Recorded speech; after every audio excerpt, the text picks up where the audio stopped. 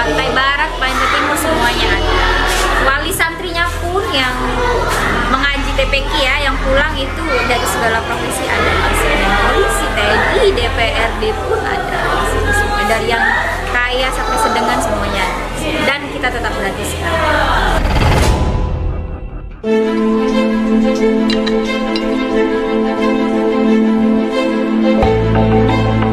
Salah satu santri yang aktif belajar mengaji adalah Muhammad Alfiansyah Ramadan Tahir.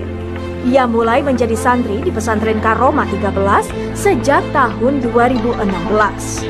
Alfiansyah merasa terbantu karena ia tidak membebani orang tua dengan biaya yang tinggi untuk belajar mengaji.